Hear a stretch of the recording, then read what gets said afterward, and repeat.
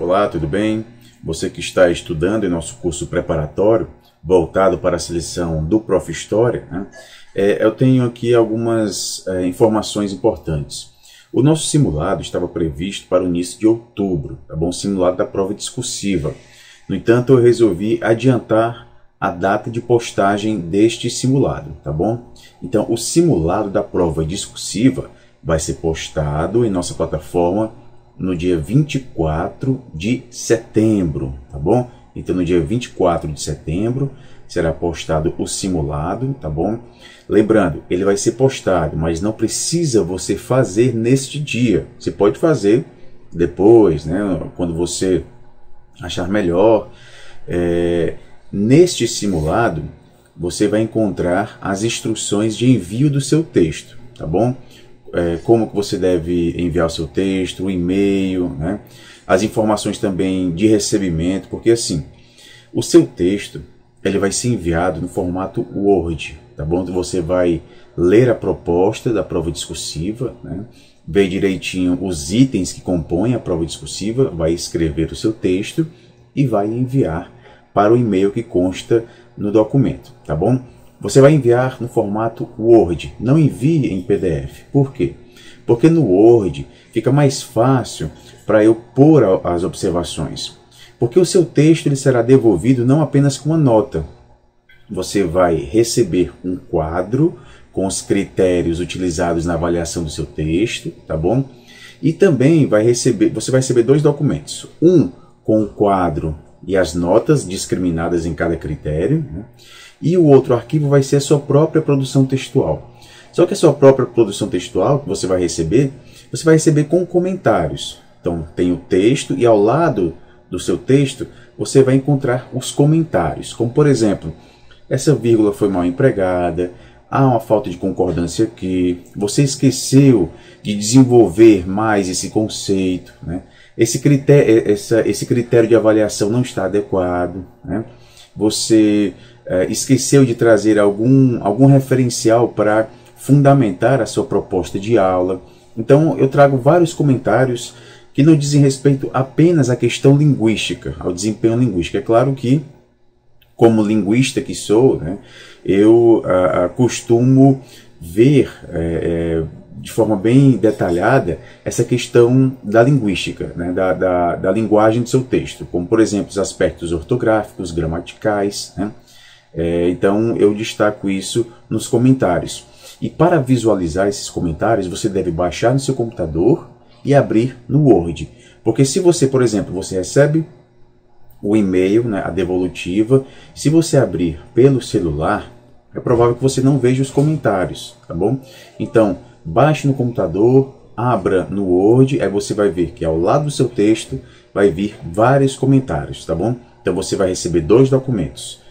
Um com o quadro e, a, e as notas discriminadas né, é, é, da sua produção textual, e o outro arquivo é o seu próprio texto, mas com os comentários, tá bom?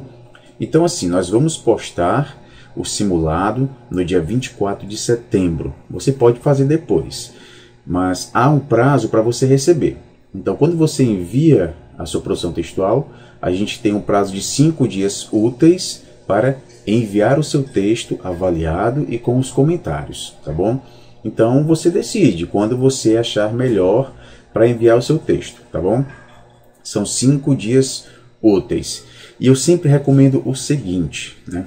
Como a gente vai fazer um simulado, é importante que a gente faça esse simulado só depois de assistirmos a todas as aulas que compõem os módulos voltados para a prova discursiva. E, são, e a gente tem várias aulas voltadas para a prova discursiva. Né? Nós temos aulas nas quais eu abordo cada item da prova discursiva considerando todas as provas discursivas anteriores que nós tivemos na seleção, né, a gente sempre teve a proposição de uma aula, tá bom? Proposição de uma aula com os itens que compõem uma aula. A própria prova nos traz os itens. Que itens são esses, né?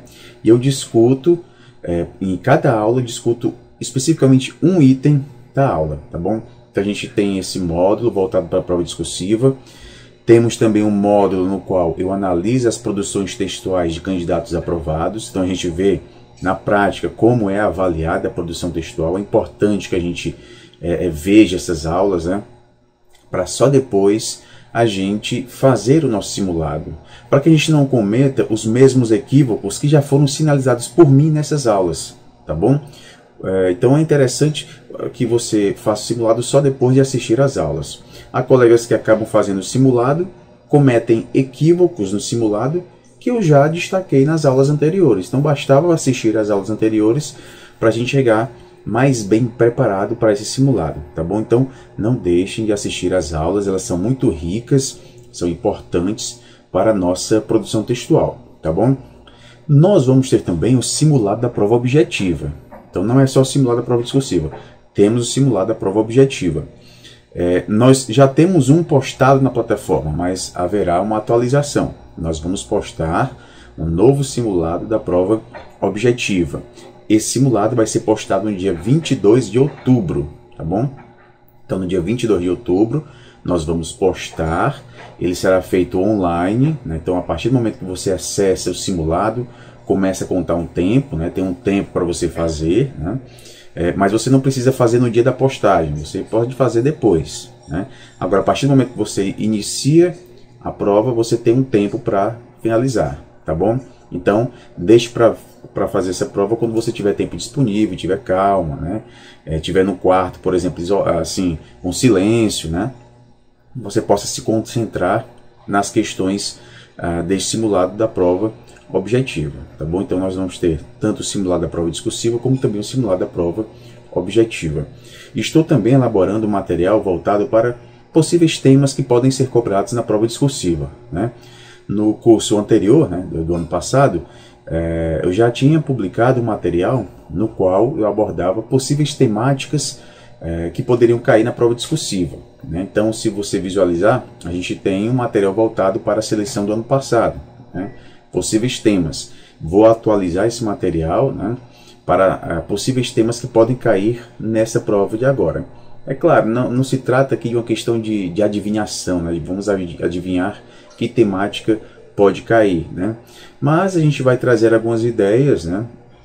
É, é, que talvez possam ser cobradas nessa prova discursiva. Mais importante do que adivinhar que tema vai ser cobrado, né, é a gente é, exercitar a própria escrita. Né? Desenvolver uma aula, como trazer conceitos na, na, nossa prova, ideias de avaliação, ideias de procedimentos didáticos que podem ser utilizados em sala de aula. Né? Então, mais importante do que a gente adivinhar o tema é a gente exercitar a nossa produção textual. Tá bom, pessoal? Então é isso. Tive aqui essas pequenas informações para dar para vocês. Nossa prova discursiva ela vai ser adiantada. Né? Nós vamos postar no dia 24 de setembro, tá bom? E a nossa prova objetiva, o simulado da prova objetiva, vai ser postado no dia 22 de outubro, tá bom? Em nossa plataforma.